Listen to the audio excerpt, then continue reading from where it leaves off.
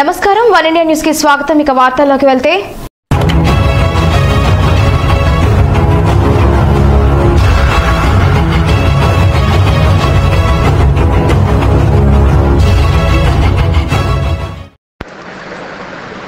అనంతపురం జిల్లా హిందూపురం పట్టుగూల మార్కెట్ను రాష్ట్ర పట్టు పరిశ్రమ శాఖ కమిషనర్ శ్రీధర్ పరిశీలించారు.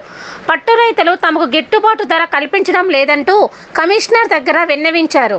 మరో పక్క ఇతర జిల్లాల నుంచి పట్టు తీసుకొచ్చే రైతులకు కనీస వసతులు కూడా లేక మార్కెట్లో చాలా ఇబ్బందులకు గురవుతున్నారని కమిషనర్ దృష్టికి తీసుకువెళ్ళారు. పట్టుధరల నిర్ణయం విషయంలో రైతులకు రెండు రకాల ధరలు.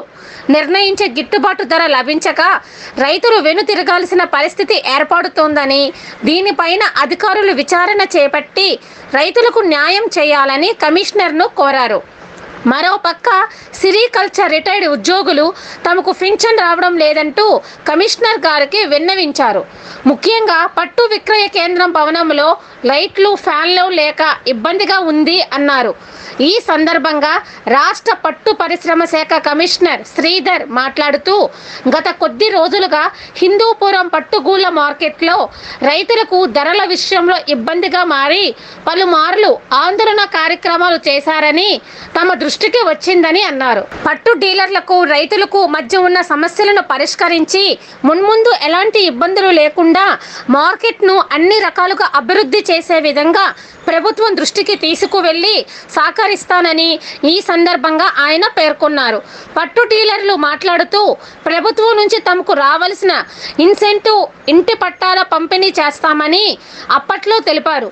మా డిమాండ్లను ప్రభుత్వం దృష్టికి తీసుకువెళ్ళి న్యాయం చేయాలని కమిషనర్ గారికి వారు కోరారు. అంటే వీటిని చూసుకొని ఆల్రెడీ చూసుకొని తీసుకొని పోయింటారు సార్. మళ్ళీ వాళ్ళు వెళ్ళేస్తారా? ఆన్లైన్ వెళ్ళేస్తారు?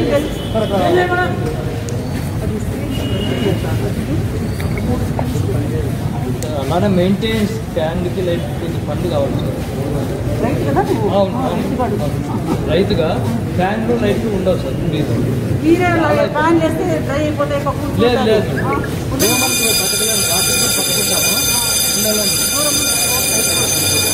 రాత్రి వస్తాయి సార్ గుళ్ళు.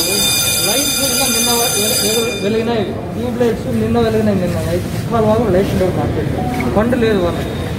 సార్ మీరు వచ్చినారు నిన్న రెడీ అయినాయి? మంచిది సంతోషం. మాకు సంతోషం. జనరల్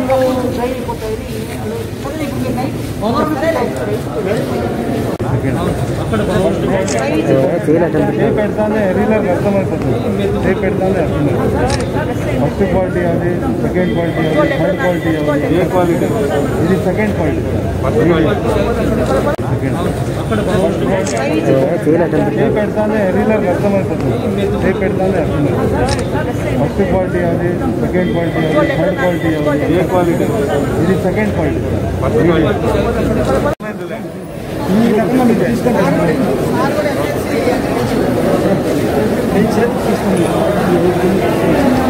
దీంట్లో ఏ రకమైన డిఫరెన్స్ ఉంది అంటే ఏ రకమైన ఐదు భూములు ఒకే రకంగా ఉన్నాయి కాబట్టి కిలోకి ఎన్ని దొరుకుతాయి ఐదు అది కొంచెం ఇది ఫైవ్ హండ్రెడా? దీన్ని మేము సార్ గుడ్డిగా రీలరు చదువులాకున్నాం కాబట్టి ఇది ఈ రకంగా చూసుకుంటాం సార్. దీని గురించి ఎంత ఉంటుంది?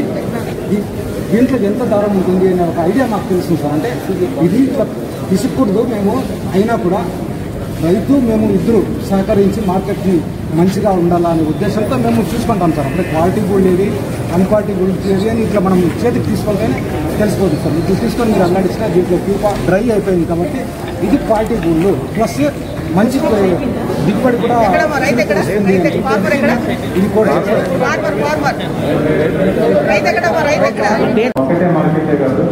సో సిల్క్ అనేది ఎస్పెషల్లీ కర్ణాటక రేట్స్ దాని ప్రకారం కూడా ఇన్ఫ్లుయెన్స్ అవుతూ ఉంటుంది. సో ఈ విధమైన యాక్టివిటీస్ చేస్తున్నప్పుడు ఇద్దరికి గవర్నమెంట్ సపోర్ట్ ఇస్తుంది. రైతులకి మనకు పట్టుకుని ఫిఫ్టీ రూపీస్ ఇన్సెంటివ్ ఇస్తుంది. ఈ సంవత్సరం కూడా మనకు బడ్జెట్ కేటాయించారు. కాకపోతే కొంత డిలే అయ్యేది నిజమైన విషయం ఎందుకంటే అన్ని యాక్టివిటీస్ గవర్నమెంట్ చూసేటప్పుడు మీకే తెలుసు. రైతు భరోసా అన్న- అంటే ఈ ఇన్సూరెన్స్ కానీ అమ్మ ఒడి కానీ డిఫరెంట్ డిఫరెంట్ కార్యక్రమాలు మన సంవత్సరానికి డిఫరెంట్ నెలల్లో వస్తాయి కాబట్టి దాని ప్రకారం మనకు రిలీజ్ చేస్తున్నారు.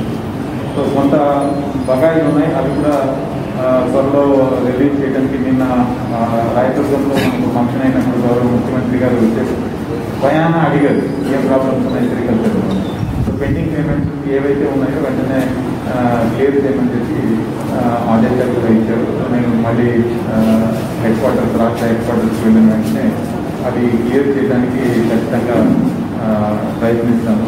ఎందుకంటే ఇది ఫైనాన్స్ డిపార్ట్మెంట్ లింక్ అయిన విషయం. సో టెక్నికల్ పరంగా నెక్స్ట్ ఇయర్ మన దాదాపు లక్ష పంతొమ్మిది వేల ఎకరాల్లో ఈ మల్బరీ సాగు జరుగుతుంది.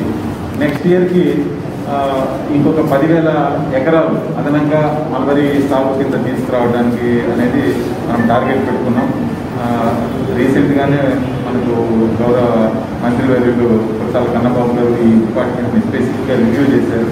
సో పదివేల టార్గెట్ పదివేల ఎకరాల టార్గెట్ నెక్స్ట్ నెక్స్ట్ ఇయర్కి మొత్తం స్టేట్ అంతా కలిసి స్టేట్ అంతా కలిపి ఈ ఈ క్రాప్ కింద తీసుకురావాలని ట్రై మనం టార్గెట్గా పెట్టుకున్నాము ఖచ్చితంగా ఆ టార్గెట్ అచీవ్ చేయడానికి మొత్తం ప్రభుత్వ యంత్రాంగం వస్తూ sericulture officer assistant sericulture officer level వరకు కూడా ఆ టార్గెట్ ఆల్రెడీ డిస్ట్రిబ్యూట్ చేయబడి చేయబడ్డాయి.